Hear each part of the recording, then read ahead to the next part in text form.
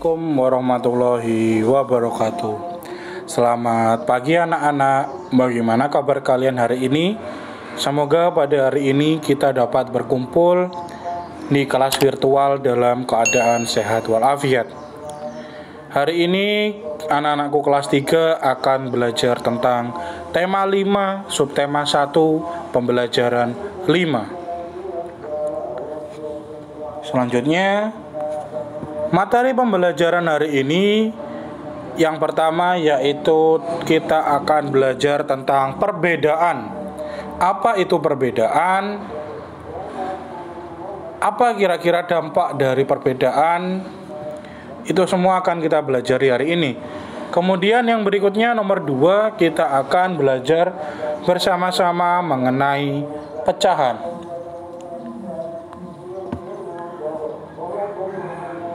Oke, selanjutnya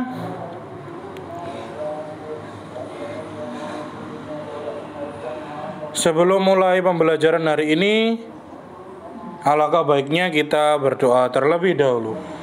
Berdoa dimulai. Berdoa selesai. Ada pesan untuk kalian, tetaplah semangat belajar.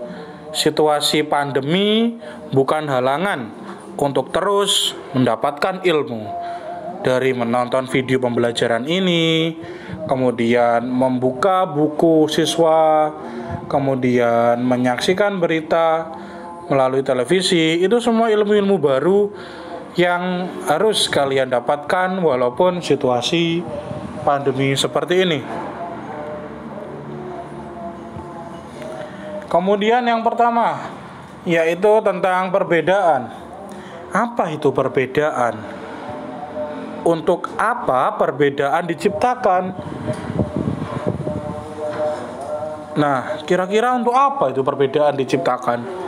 Berarti perbedaan itu ada dampak positifnya jika perbedaan itu diciptakan.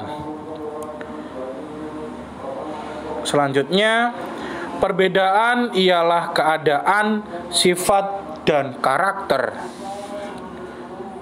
Perbedaan diciptakan Tuhan dengan tujuan agar manusia saling mengenal, saling berinteraksi, saling memahami, dan saling memberi manfaat satu sama lain. Jadi, perbedaan itu bisa dilihat dari keadaan, sifat, dan karakter.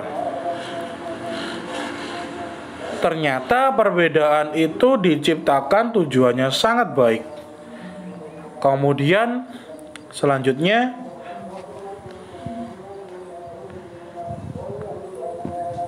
bagaimana? Sudah memahami arti tentang perbedaan? Selanjutnya yaitu perbedaan adalah karunia dari Tuhan. Perbedaan menunjukkan bahwa kita bangsa yang kaya. Perbedaan hendaknya membuat kita makin bangga bangga menjadi anak Indonesia. Kita tetap harus saling menghormati kita juga harus menjaga persatuan bangsa. Jadi, kita tuh harus bangga menjadi anak Indonesia karena memiliki berbagai daerah, berbagai bahasa, suku, ras. Kita harus bangga dengan perbedaan itu. Kita tetap harus saling menghormati. Jadi, kita harus mempunyai sifat toleransi. Kita juga harus menjaga persatuan dan kesatuan bangsa. Kemudian yang berikutnya kita akan belajar mengenai pecahan.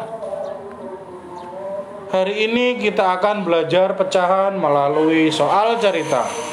Fokus ya anak-anak. Oke, selanjutnya kalian lihat gambar di atas itu namanya kue cucur. Ya, namanya kue cucur. Makanan khas Betawi, Jakarta. Rasanya manis. dan pinggirnya itu renyah dan tengah di bagian tengahnya itu empuk teksturnya empuk kemudian selanjutnya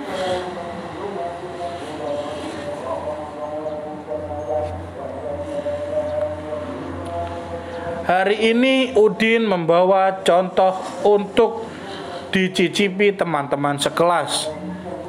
Satu kue cucur dibagi dua untuk Siti dan Lani. Masing-masing mendapatkan satu per dua. Kemudian satu kue cucur lainnya dibagi tiga untuk Beni, Edo, dan Udin. Masing-masing mendapatkan sepertiga. Satu lagi kue cucur dibagi menjadi empat untuk teman-teman lainnya. Masing-masing mendapatkan seperempat. Pertanyaannya, manakah yang besar nilainya antara seperdua sepertiga, dan seperempat. Kira-kira mana yang lebih besar? Oh, ada yang angkat tangan nih ternyata. Mana yang lebih besar?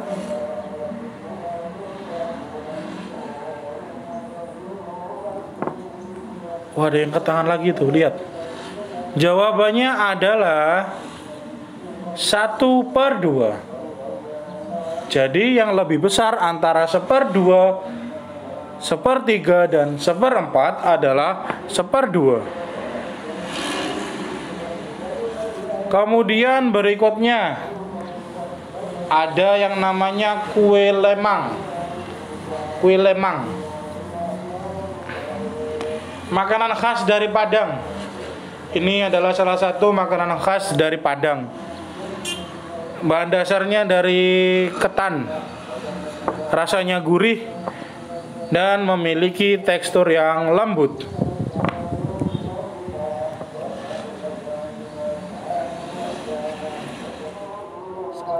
Satu batang lemang Siti bagi untuk lima orang.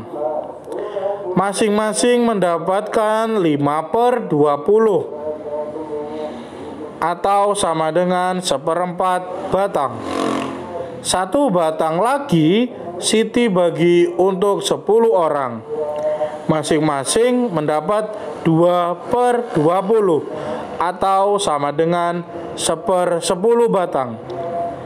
Manakah nilai yang lebih besar antara 5 per 20 atau 2 per 20? Siapakah yang lebih banyak mencicipi lemang dari Padang? Apakah yang mendapatkan 5 per 20 atau 2 per 20?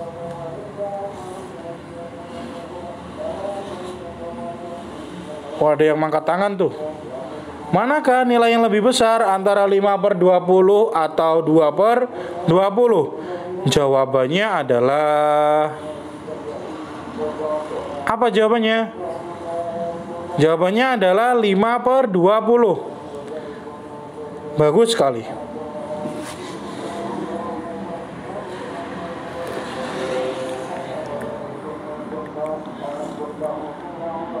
Kemudian yang selanjutnya Apakah yang lebih banyak mencicipi lemang dari Padang? Apakah yang mendapat 5 per 20 atau 2 per 20 bagian? Jawabannya adalah